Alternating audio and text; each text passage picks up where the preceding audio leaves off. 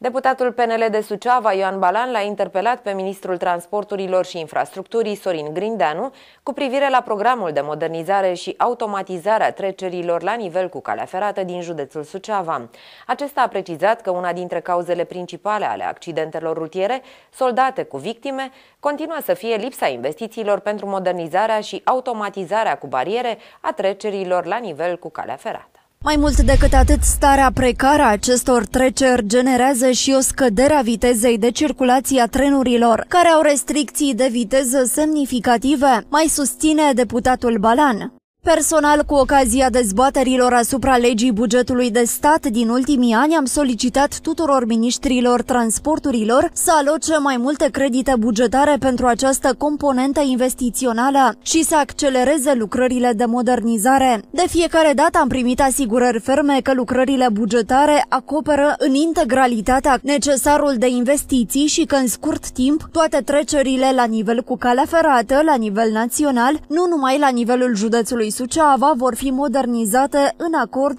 cu exigențele Uniunii Europene, a precizat Ioan Balan. În contextul în care România are oportunitatea istorică de a accesa un volum uriaș de finanțări europene nerambursabile, atât din bugetul multianual al Uniunii Europene, cât și din cadrul mecanismului european de redresare și reziliență, deputatul Balan îi solicită ministrului transporturilor următoarele precizări. Câte treceri la nivel cu calea ferată vor fi modernizate și automatizate la nivelul județului în cursul anului 2022, dar la nivel național, în condițiile în care cea mai mare parte a investițiilor de infrastructură din România se confruntă cu mari întârzieri din cauza piedicilor birocratice ale legislației în materie de achiziții publice și atribuiri de lucrări, în ce măsură CNAIR și CFR Infrastructura ar putea să realizeze lucrări de modernizare și automatizare cu bariere a trecerilor la nivel cu calea ferată. Au fost întrebările deputatului Ioan Balan.